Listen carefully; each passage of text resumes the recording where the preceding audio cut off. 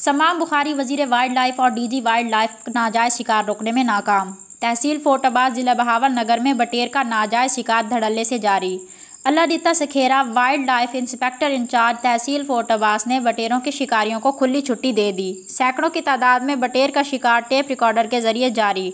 शिकारियों ने बताया है कि Allah Sakhera deputy director wildlife Zahid Ali का खास है। और ये सब बड़े अफसरान की मिली भगत से जारी है। फ़ी शिकारी दस हज़ार रुपये और एक सौ बटेर वसूल किया जाता है और बटेर पकड़ने की इजाज़त दी गई है और अफसरान लाहौर तक की ज़िम्मेदारी दी गई है। इसके अलावा तहसील फोर्ट अब्बास में बटेर के डीलर से तितर भी आठ सौ फ़ी तितर दस्तियाब है। अहल इलाका ने बताया है कि हम रात भर टेप रिकॉर्डर की आवाज़ से परेशान हैं। मुतद बाहर महकमा के अहलकारों को शिकायत की है, मगर वो खामोश हैं।